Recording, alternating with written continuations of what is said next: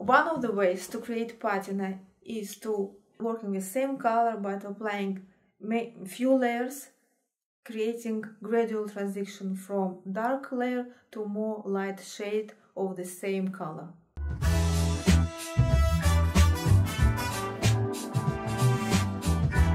Learn how to make shoes with my step-by-step -step video courses.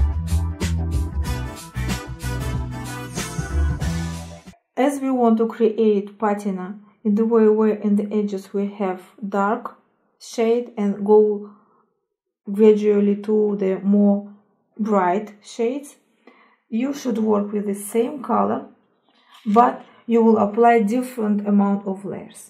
Let's say you have five lines of the same color. You need to put them all these five lines once. Then to create this gradual transition between dark colors and light colors, you will need to apply second layer only on four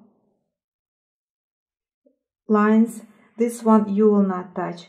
Then you apply another three lines here you already don't need to, to apply color so you will reach here gradual transition between light color to more dark color so then you apply only two colors and then once on the first line this is how you will create smooth transition between dark color to more light shade of the same color. This is one of the way to create patina. And of course, this approach or any other depends on the type of leather that you use.